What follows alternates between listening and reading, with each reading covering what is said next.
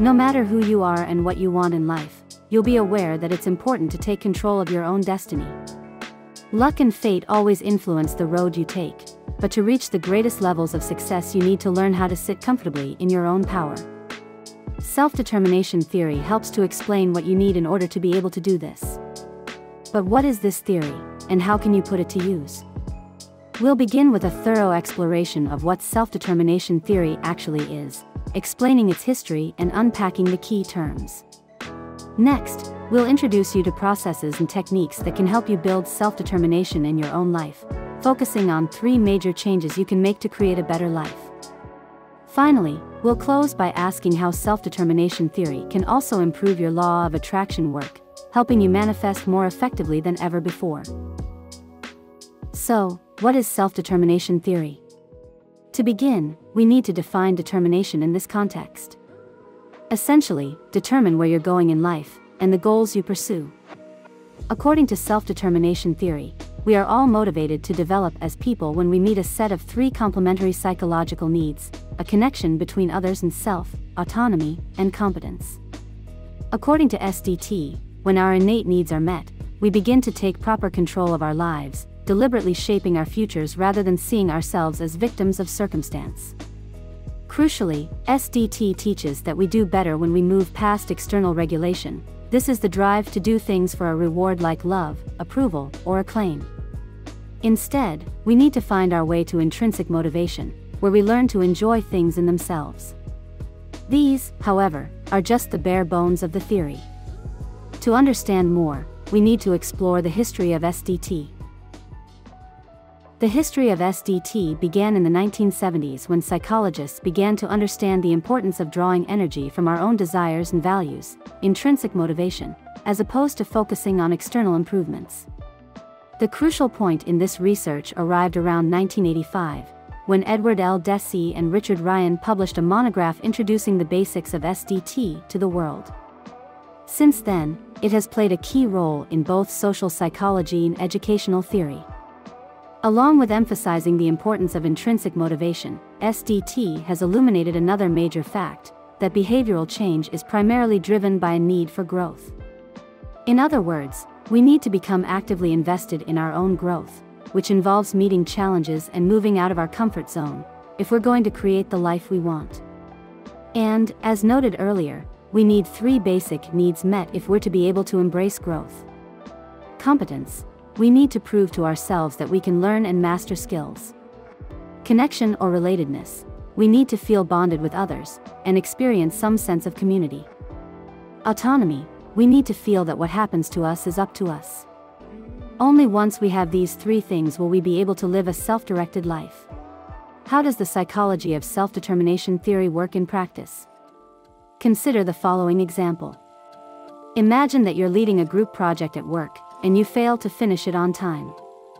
If you're low in self determination, because your three core needs have not been met, you will look outside of yourself for someone or something to blame.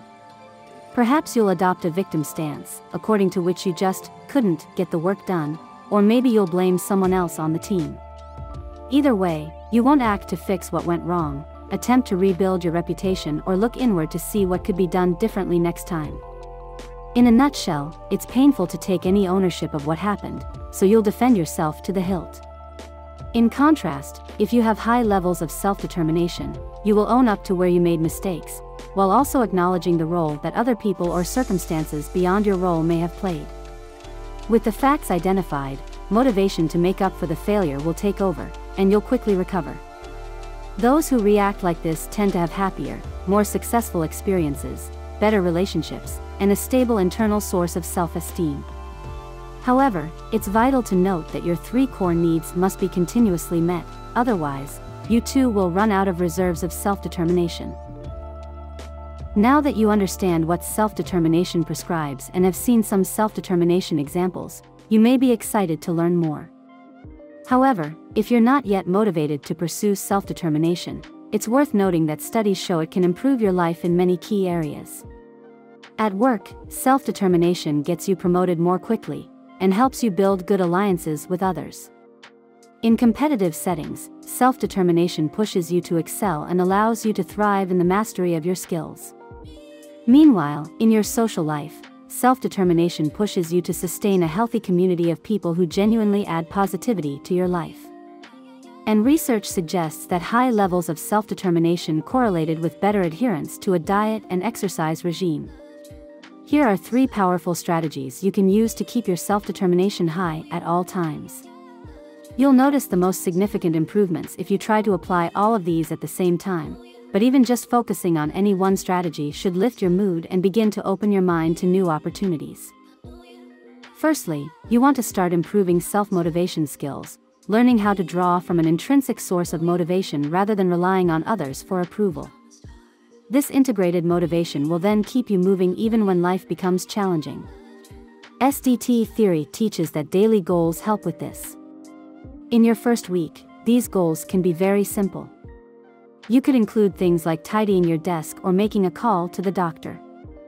In the next week, try to add one more challenging goal every day. An example of a challenge would be speaking first in a meeting or approaching someone about a new work opportunity. Keep challenging yourself more, week by week.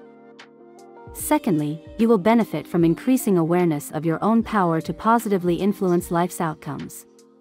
One way in which you can do this effectively is to look back at your own history and challenge yourself to see where you have been in control of major positive changes.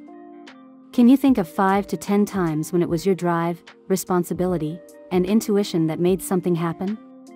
You can include anything on the list, from being the first person to ask another out on a date to coming up with an out of the box solution at work, or ending a relationship that wasn't serving your needs. Thirdly, remember that it is up to you to make your life a success and to tackle the roadblocks that arise. This can be empowering in time, rather than scary. The goal setting exercise helps here, boosting your confidence as you become more intrinsically motivated. However, you can go even further by keeping a journal in which you practice taking responsibility for each day. In each entry, think of one good thing that happened through your will and behavior, and what made it work out. Next to that, write one thing that didn't work out so well, and what you'd do differently. The goal of self determination psychology is growth, not self